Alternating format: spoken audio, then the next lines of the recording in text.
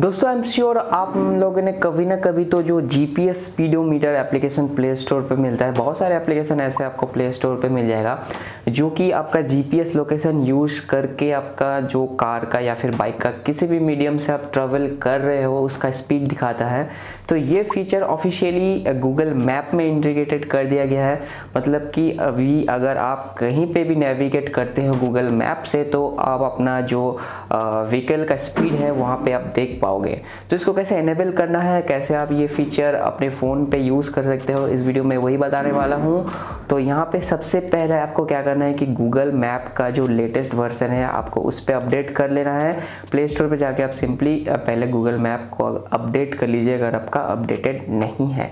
Then यहाँ पे आपको मैं दिखाता हूँ अपने मोबाइल स्क्रीन पर सबसे पहले तो आप गूगल मैप में जाइए। गूगल मैप का जो सेटिंग्स है, आपको वहाँ पे जाना है।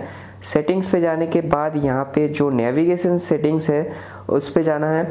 देन नीचे स्क्रोल करके आपको पूरा लास्ट तक जाना है। यहाँ पे आप देख सकते हैं जो ड्राइविंग ऑप्शन है, वहाँ पे एक नया फीचर इंट्रोड्यूस किया गया है स्पीडोमीटर इसको आपको एनेबल करना है, फिर जाके आप कहीं भी भी नेविगेट करते हैं।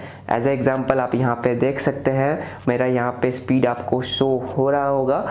तो ऐसे आप इसको मतलब यूज़ कर पाएँगे। तो काफ़ी कूल फीचर है। आपको ये फीचर कैसा लगा? कोई थर्ड पार्टी एप्लीकेशन आपको डाउनलोड करने की ज़रूरत नहीं है। गूगल मैप ऑलरेडी आपका फ़ोन पे रहता है और आप इसको सिंपली ऐसे इनेबल करके देख सकते हैं। काफ़ी कूल फीचर है। अपने दोस्तों के साथ इसको ज़रूर शेयर करना। ये वीडियो आपको कैसा लगा?